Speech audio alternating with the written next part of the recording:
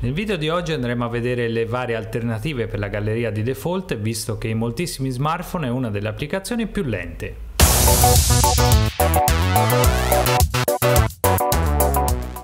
Cari amici di Android, bentornati in mia compagnia. Andiamo subito a vedere la prima valida alternativa, ovvero Quick Pick, un'applicazione che io usavo ai tempi del Galaxy S2 ed è un'applicazione che ci permette di sfogliare tantissime foto all'interno della nostra galleria in meno di due secondi, trovare rapidamente tutte le foto attraverso i vari servizi ed è ultimamente eh, supportata da Picasa, da Google Drive, da Dropbox, da Flickr, da OneDrive e da tanti altri servizi online. La reputo una delle migliori gallerie all'interno del panorama Android perché è molto versatile, molto veloce e devo dire è una pick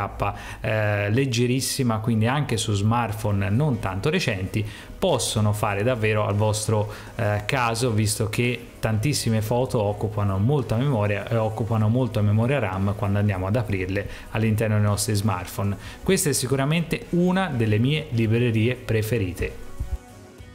Con l'arrivo di Android Lollipop 5.0 avete visto che all'interno dei vostri smartphone l'applicazione foto di Google Plus la troverete di default, ovvero la galleria vecchio stile verrà aggiornata con questa nuova applicazione. Applicazione che ha come particolarità il backup online su Google Drive, quindi non avete nessun tipo di problema nel perdere le vostre fotografie e avrete anche un'interfaccia direi molto snella e veloce eh, come Quick Pick. Tanti amanti della vecchia galleria, ovvero la galleria vecchio stile, eh, non preferiscono questa nuova versione della, della galleria di Google Plus Plus, però insomma dobbiamo dire che alla fin fine funziona bene, non c'è nessun tipo di impuntamento all'interno di questa applicazione e la condivisione è rapida, immediata e possiamo anche creare dei nostri album all'interno dell'applicazione stessa. Provando io poi parecchi telefoni, una delle funzionalità che più preferisco è quella che mi riesce a ehm, dividere le foto per smartphone, quindi riesco a controllare tutti i miei scatti.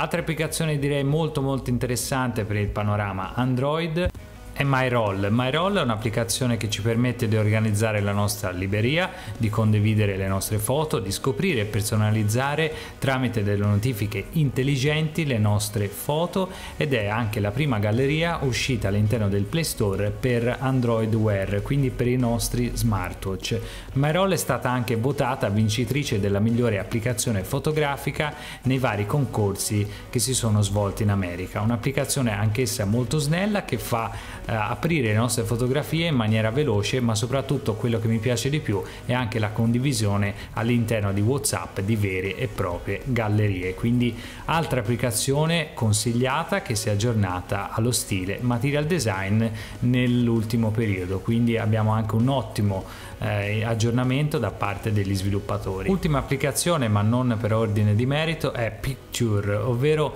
una nuova galleria che è dotata di grandi caratteristiche come per esempio la vista del calendario, molto comoda all'interno dell'utilizzo di una galleria. Abbiamo anche il filtro della località e il filtro multimediale per riprodurre sia i video che anche riprodurre album fotografici. Ha un'interfaccia che si basa attraverso le gesture, quindi sarà molto veloce scorrere da una galleria all'altra ed ha anche eh, direi la eh, personalizzazione di uno sfondo e di una interfaccia molto gradevole in pieno stile material design come abbiamo visto anche le altre applicazioni è eh, un'applicazione che mh, integro all'interno delle mie gallerie perché eh, non posso fare almeno della vista del calendario, almeno riesco anche a capire quando ho scattato la mia fotografia e quindi riesco a catalogare al meglio il tutto. Queste erano le varie alternative alla galleria dei default, per oggi è tutto e come sempre ci sentiamo nei prossimi video.